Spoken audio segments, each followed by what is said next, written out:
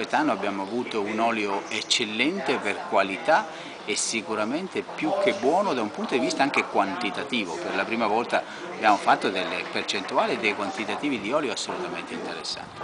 Tutto questo eh, premia il grande lavoro che hanno fatto i nostri olivicoltori, le nostre aziende e soprattutto in un momento come questo dove, ripeto, il mangiare bene, il mangiare sano, eh, c'è questa forte riscoperta da parte del consumatore, questo sicuramente è un, uno di quei prodotti su di cui ci si può mettere a mano su cui ci lo dice il direttore del consorzio siamo tranquilli. No, ma anche per, per- soprattutto- ma per i bambini, cioè io non voglio parlare del vino perché chiaramente può avere Vabbè. delle controindicazioni su determinate età, ma l'olio è veramente un fattore benefico, è, è- una medicina da un punto di No, vista. questo me ne sono accorto anch'io perché ho bambini piccoli, effettivamente Certo. l'olio comincia ad andare a cercarlo, No, a infatti, assaporarlo. come, perché, come insomma, diceva giustamente il professor Galanti, al posto dei- de- delle bevande gassose che gonfiano, della- delle- de- de- dei grassi, di questi soliti fritti prodotti fritti, eccetera,